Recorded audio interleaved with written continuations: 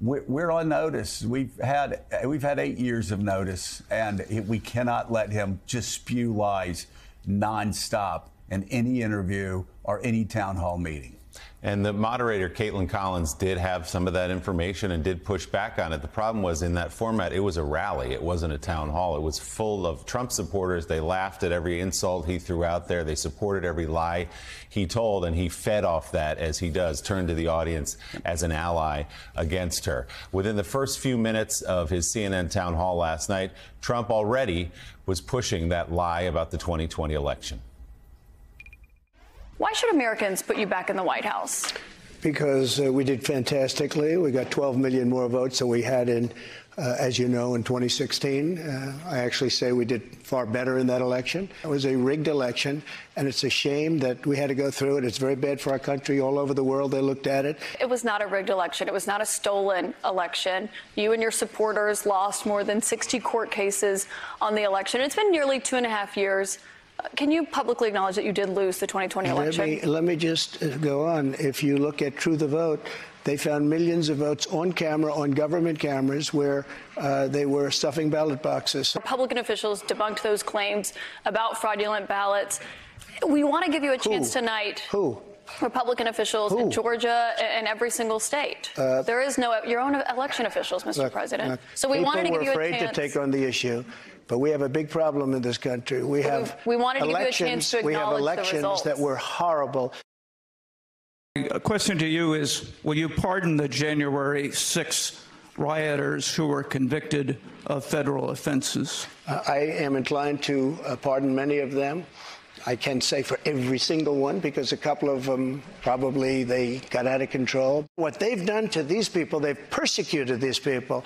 And yeah, my, my answer is I am most likely, if I get in, I will most likely, I would say it will be a large portion of them.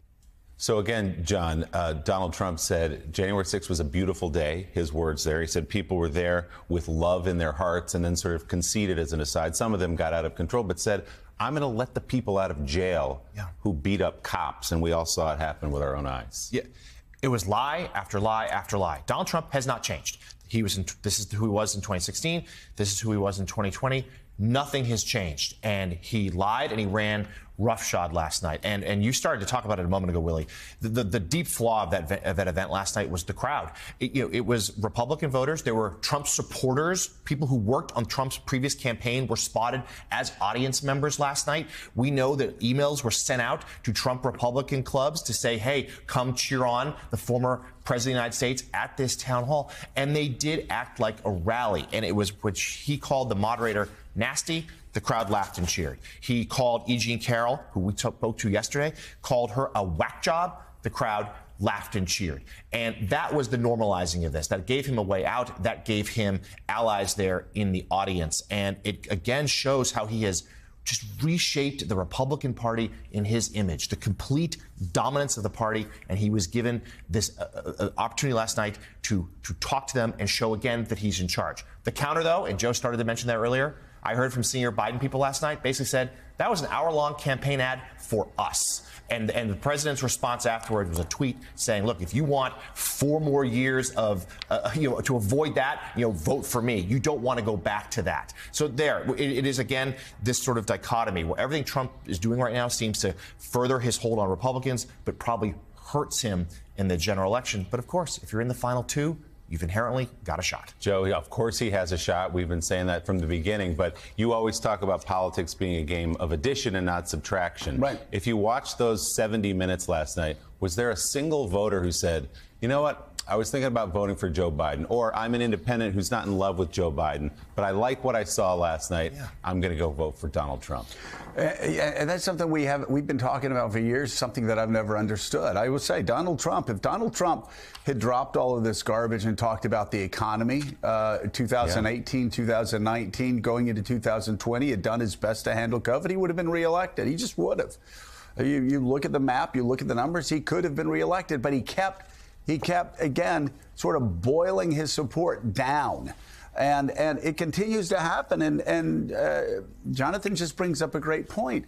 You have a guy, uh, first of all, still lying about the election being rigged. Uh, that's that's a minority view in America by by a large swath of people. You, in fact, that ABC poll that was supposed to be horrible for Joe Biden, a majority of Americans said Trump should be arrested, should be arrested for what he tried to do in rigging the, the 2020 election. That's how much of a minority thing it is.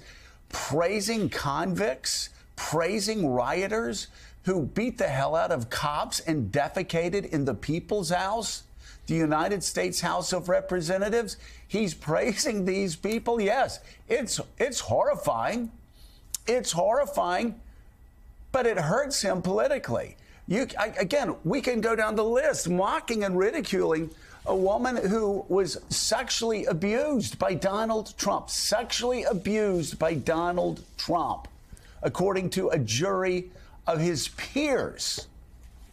That woman mocked and ridiculed. And this Republican audience of Republican club members and, and, and, and, and people, uh, these, these Trump loyalists, they're mocking and ridiculing a woman that a jury just found had been sexually abused. Sexually abused. That doesn't help Donald Trump.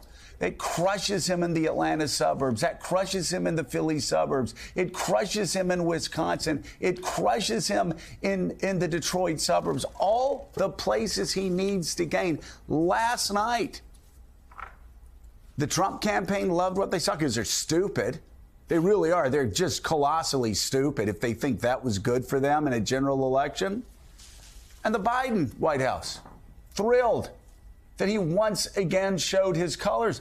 There's breaking news that just broke uh, across Financial Times. Jeffrey Katzenberg, this morning, news breaking, said he will do whatever it takes he will provide whatever money is needed from his fortune to make sure Donald Trump is not elected president of the United States. Do you know how many people are waking up this morning saying that? Do you know how many people are waking up this morning saying, you know what, I need to get involved in 2024 and, and, and stop this fascist, stop this liar, stop this guy who elevates Vladimir Putin and trashes America and calls it the greatest threat to Western civilization. Now, there is, there is this morning a lightning bolt going through the American electorate, and it's reminding everybody the stakes of a second Donald Trump presidency. So last night, bad for democracy, bad for, for media, but even worse, Jackie, for Donald Trump. And you know,